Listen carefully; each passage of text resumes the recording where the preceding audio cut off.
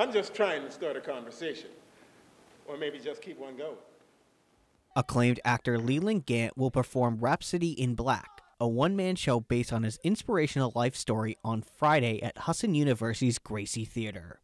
My performance is about a young man's discovery, attempts to assimilate, and eventual transcendence of the demon racism. Okay? It's how the insidious effects works on him, his psycho-emotional status, strata, throughout his life.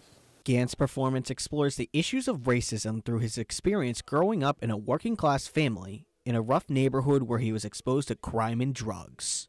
Through a process of self examination, looking deeply into myself at all the little corners where all those little nasty things that we don't want to look at reside, embracing them, accepting them, and finding humanity in myself that enabled me to see the humanity in the other.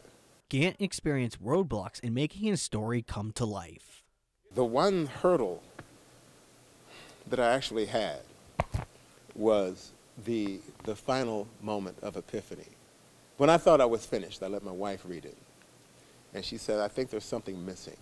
You, you, you're not being completely honest about something. That was the hardest thing in writing it. By the end of his performance, Gantt hopes to spark an open dialogue about racism.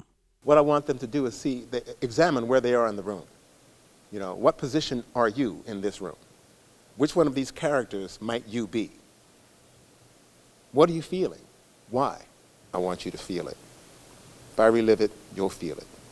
If I don't relive it, you can walk away. I want to touch you. In Bangor, Matthew Juronsik reporting for ABC7 and Fox 22 News.